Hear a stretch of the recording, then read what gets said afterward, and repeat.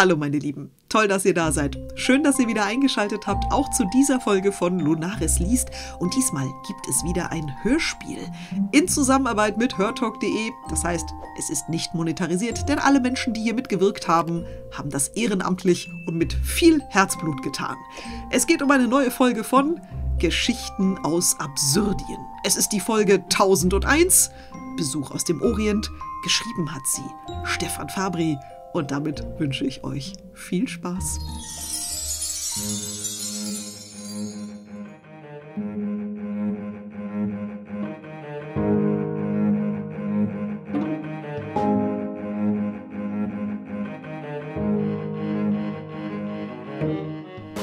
Geschichten aus Absurdien. Folge 1001 Besuch aus dem Orient ein Kurzhörspiel von Stefan Fabri für Hörtalk.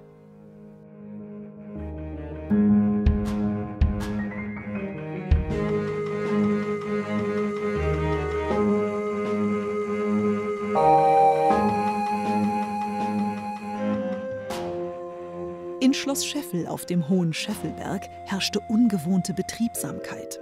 Und das, obwohl der Spätsommer noch einmal sehr heiß geworden war. Dennoch ließ es sich die Gräfin Klokynia nicht nehmen, täglich im Obstgarten im Schatten eines üppigen Pflaumenbaums zu sitzen und zu malen. Nach anfänglichen Protesten hatte sie nämlich schließlich zugestimmt, dass ihre Bediensteten einige ihrer Bilder auf dem Wochenmarkt im Dörfchen Fassheim zum Verkauf feilbieten dürften. Sie selbst verließ Scheffel nur höchst selten.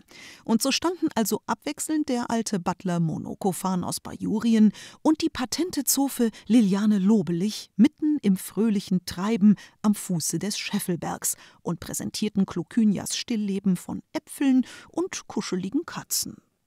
Woran genau es lag, dass Bilder überwiegend dann verkauft wurden, wenn Liliane sie anbot, wollen wir aus Gründen der Gendergerechtigkeit nicht weiter erforschen.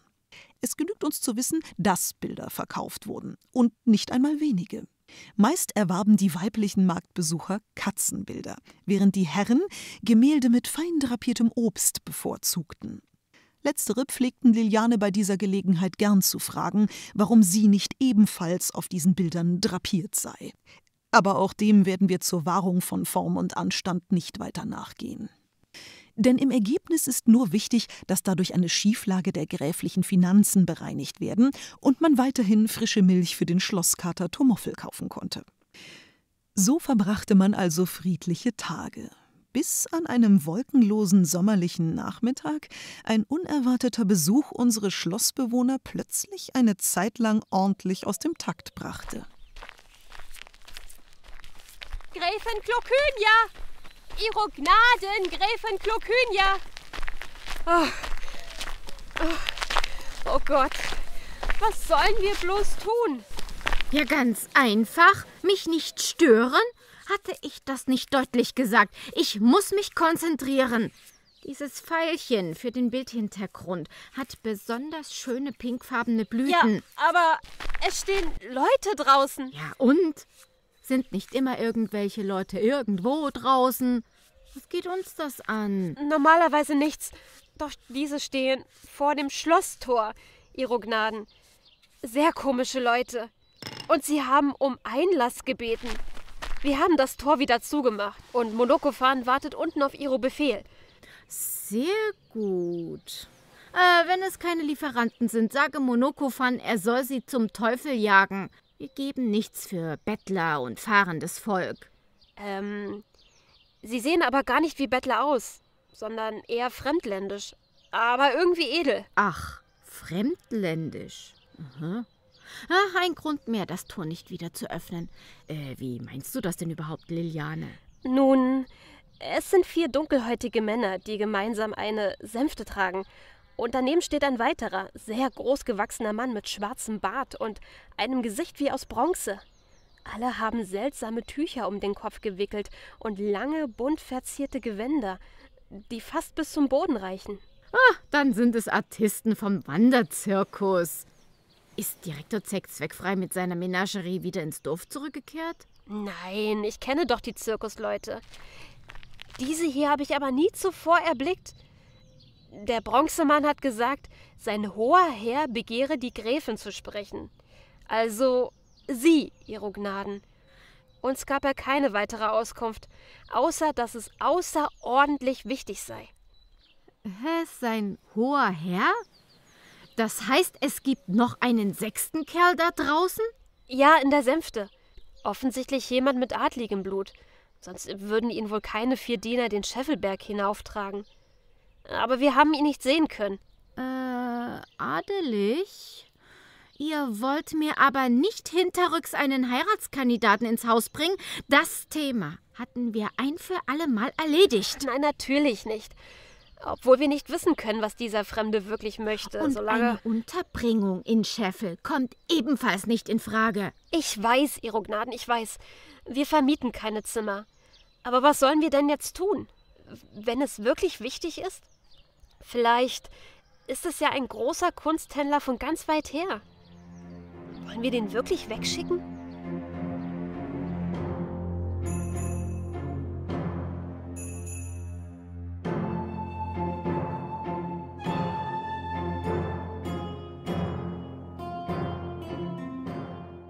Liliane Lobelich hatte recht. Solange man nicht genauer wusste, warum jemand aus höheren Kreisen so dringend die Gräfin zu sprechen wünschte, wäre es leichtsinnig gewesen, die fremden Besucher von vornherein zu ignorieren. So kam man überein, den Unbekannten aus der Sänfte zu empfangen. Allerdings ohne Sänfte und ohne seine Träger. Als höchstes Maß des Entgegenkommens gestattete Klokynia, dass der großgewachsene, bärtige Diener seinen Herrn begleiten möge. Die Gräfin ließ den Wartenden durch Monokophan ausrichten, sich noch ein paar wenige Minuten zu gedulden und begab sich sodann mit Liliane in ihr Kaminzimmer, um rasch Holundersirup und etwas Gebäck auftischen zu lassen, damit man auf den mysteriösen Besuch gut vorbereitet war.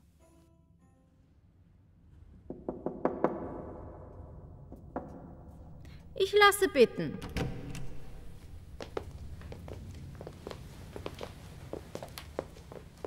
Bitte sehr, die Herren. Die gnädige Gräfin Klukynia von Scheffel zu Scheffelberg zu ihrer huldvollen Verfügung. Der herrliche Maharaja Keks, Fürst von Lünistan. Wir sind tausend und eine Nacht und tausend und einen Tag unermüdlich gereist, um Sie, Hoheit Gräfin Klokynja, nunmehr zu grüßen und Ihnen für die Gnade Ihres Empfangs zu danken. Oh. Oh, bitte, der hohe Herr. Ähm, nehmen Sie doch freundlichst Platz, Ihro, äh, Maha. Äh, hier. Monokophan. Wenn es angenehm ist. Maharaja? Äh, haben die alle ein mächtig blau geschlagenes Auge? Und wie in aller Welt spricht man einen Maharaja höflich an? Keine Ahnung. Oh, Maharaja. Äh, keine Ahnung, Keks. Es ist mir wirklich eine große Ehre, eure Bekanntschaft machen zu dürfen. Verehrte Gräfin, Exzellenz genügt völlig. Wir sind euch zutiefst zu Dank verpflichtet, dass ihr euch die Zeit nehmt. Dies hier ist mein erster Diener und meine rechte Hand, Aladin Lorendin. Er hat mich auf der gesamten langen Reise aus dem fernen Osten treu begleitet. Es waren natürlich nicht tausend und ein Tage und Nächte, das sagt er nur immer, aber dennoch lange genug. Ob einer eurer Sklaven wohl so freundlich sein möchte, ihm in den Wirtschaftsräumen eine kleine Erfrischung zukommen zu lassen, während wir sprechen? Wo sind hier Sklaven? Was für ein schöner Mann. Aber gerne.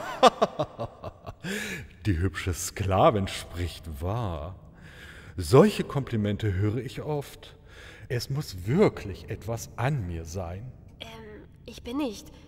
Ich meinte eigentlich nicht. Egal. Kommen Sie, schön. Lieber Herr Lorendin, wir gehen in die Küche. Vielleicht ist sogar noch eine bajurische Brezel übrig. Nun, ähm, Exzellenz Keks, äh, was darf ich euch anbieten?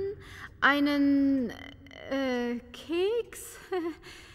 Ihr müsst sehr ausgezehrt sein, wenn ihr einen so langen Weg aus dem Orient hierher gemacht habt.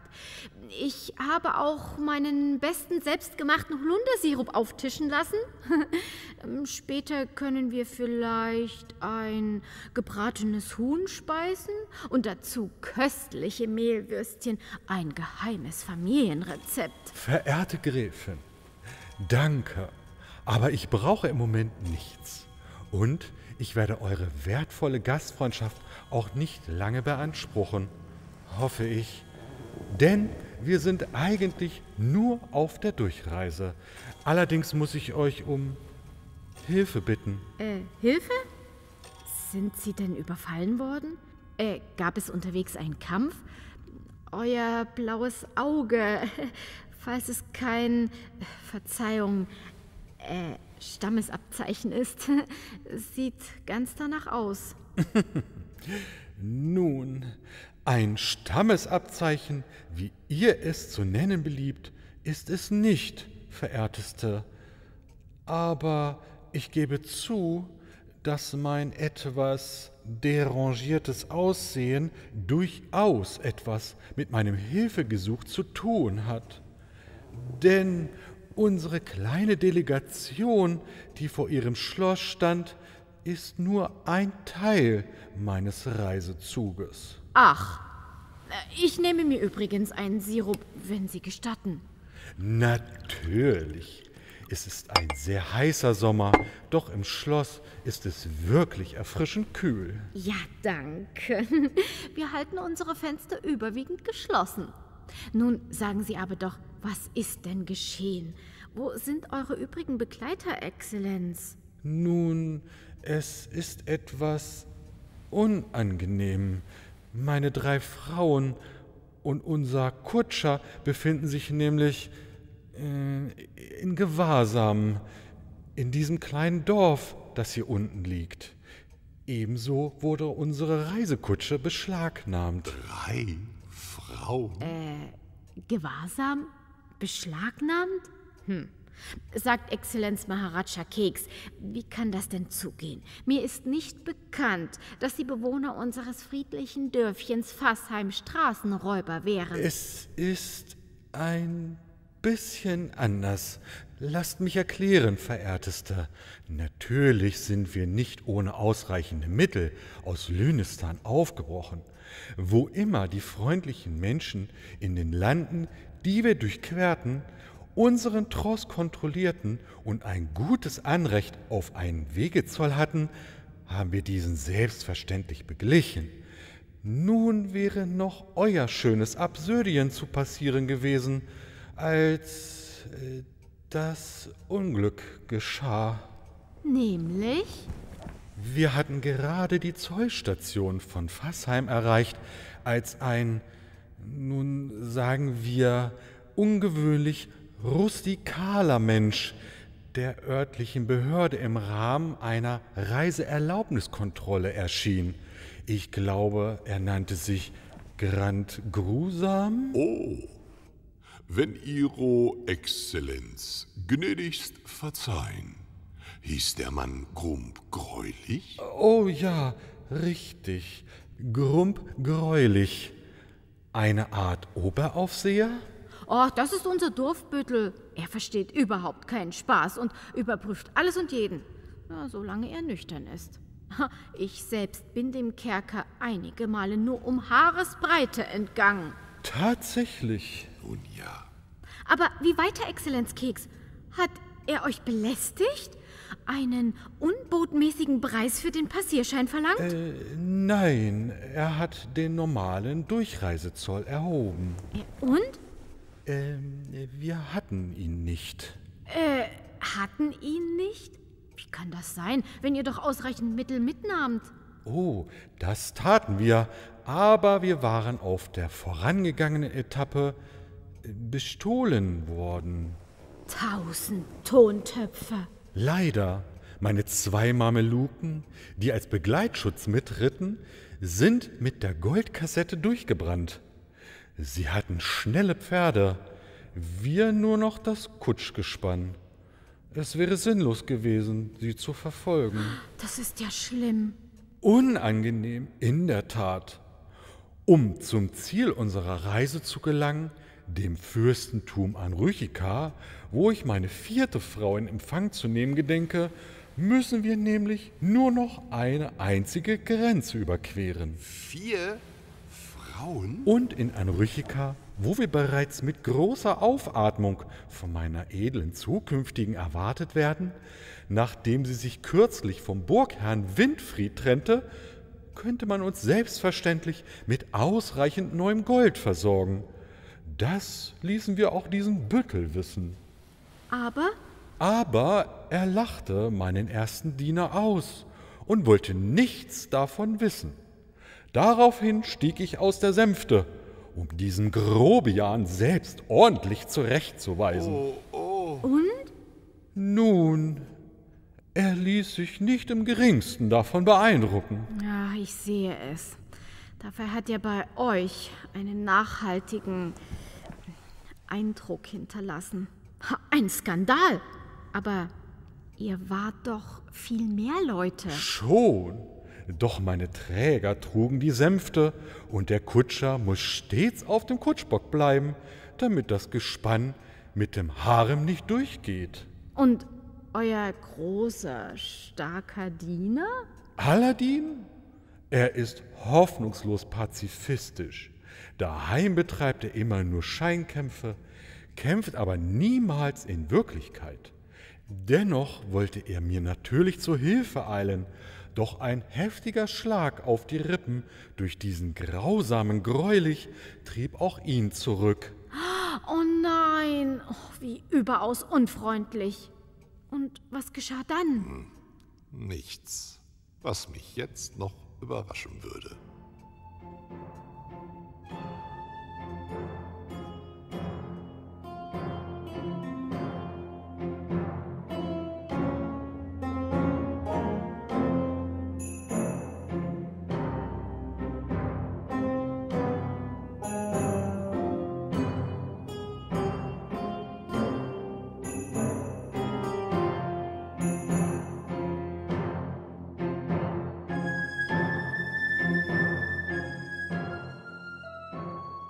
So war es in der Tat geschehen, dass der Dorfbüttel Grumpgreulich von Fassheim die gesamte Reisegesellschaft des Maharaja Keks, beziehungsweise das, was nach der Flucht der zwei Wachen noch von dieser übrig war, schlichtweg verhaftet und ihr buchstäblich eindrücklich klargemacht hatte, dass sie ohne Bezahlung keine Erlaubnis für ihre Weiterfahrt erhalten würden.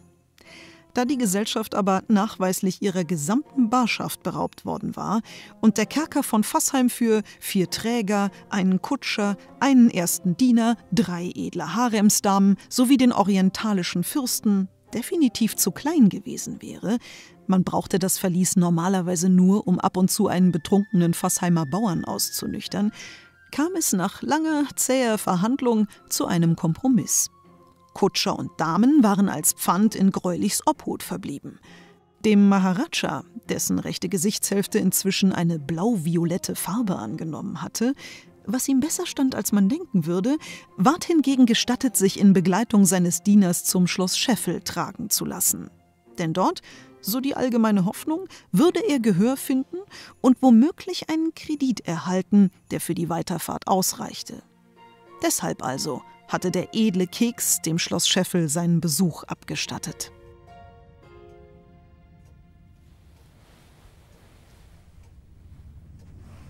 Und darf ich nun, verehrte Gräfin, angesichts dieser schrecklichen Malaise auf eure gnädigste Unterstützung rechnen?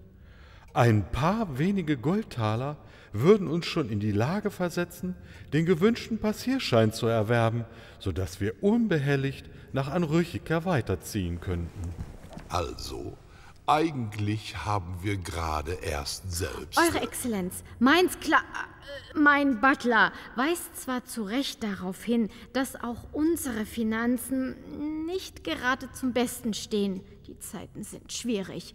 Aber angesichts eurer unzweifelhaft ehrenvollen Mission will ich mich dem Ansinnen nun dennoch nicht verschließen. Gräfin, ich wagte kaum darauf zu hoffen. Schöner Aladdin. Ich hoffe, du bist nun erfrischt und versorgt. Ihre Gnaden und Herr Exzellenz, wir sind zurück. Was kann. Ja, das sehe ich. Hä? Ich habe soeben entschieden, dass wir Exzellenz Maharaja Keks mit einem kleinen Kredit aus seiner schwierigen Lage helfen werden, damit seine zukünftige nächste Frau nicht umsonst in Anrüchika auf ihn warten muss. Was mich für alle Zeit und ewig zu eurem dankbarsten und treuesten Untertanen macht, hochverehrteste, wunderbare Gräfin Klokynia. Ach, was sage ich denn? Ich möchte meinen Dank noch viel tiefgreifender zum Ausdruck bringen. Angesichts eures huldvollen und großzügigsten Entgegenkommens zögere ich nicht, euch hier und auf der Stelle meine fürstliche Hand zu bieten und euch ebenfalls zu ehelichen. Was? Oh Gott, Ihre Gnaden. Wir versichern, dass wir nichts Äh, dergleichen. Augenblick, Augenblick. Ehelichen? Exzellenz Keks, äh, gewährt mir einen Moment, mich zu fassen. Jederzeit, natürlich jederzeit. Ihr wollt sagen, dass ihr mich heiraten würdet? Fünf Frauen? Nun, ich muss zugeben, dass mich das außerordentlich ehrt, Exzellenz. Außerordentlich. Aber ich muss den Antrag ablehnen. Es ist nichts Persönliches, aber ich fürchte, die diplomatischen Verwicklungen mit dem Nachbarland Anrüchika, zu denen eine solche Konstellation führen würde, müssen wir meiden. Ihr erhaltet die notwendigen Gelder für euren Passierschein, auch ohne dass wir uns vermählen. Nun, ich akzeptiere zwar mit zutiefstem Bedauern, aber hochachtungsvoll jedwede eurer gnädigen Entscheidungen, verehrte Gräfin. Und es wäre in der Kutsche vielleicht auch etwas eng geworden. Aber vielleicht könnten wir Aladdin, äh, Herrn Lorendin, hier behalten, bis der Kredit zurückgezahlt ist. Ja? Nur als Sicherheit. Er hat sich so auf die Mehlwürstchen gefreut. Nein, wer sonst soll denn die Reisegesellschaft noch beschützen? Dieser Pazifist? Ja, besser als nichts. Einen kraftvollen Eindruck macht er ja immerhin. Nein, es ist beschlossen. Wir gewähren Exzellenz Maharaja Keks auf Treu und Glauben den Kredit, mit dem der Passierschein bezahlt werden kann. Monokofan, bitte hole das nötige Gold. Und nun möchte ich mich gerne zurückziehen. Ich bin etwas erschöpft. Es war doch äh, ein sehr anstrengender Besuch. Außerdem muss ich noch ein pinkfarbenes Pfeilchen zu Ende malen. Das Bild liegt schon viel zu lange unfertig herum.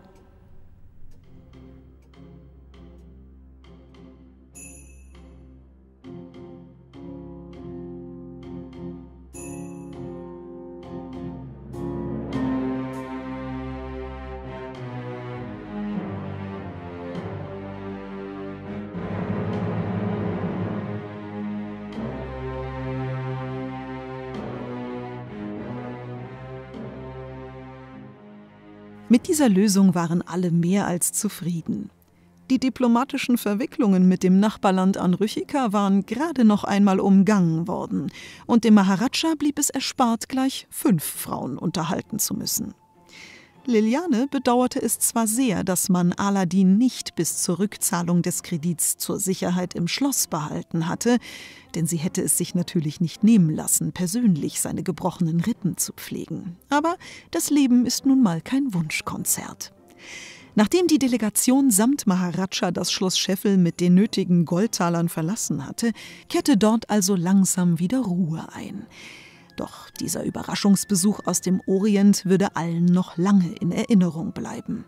Wie man aus gut unterrichteten Kreisen übrigens hört, soll der Fürst aus Lünistan seine Schulden tatsächlich beglichen haben.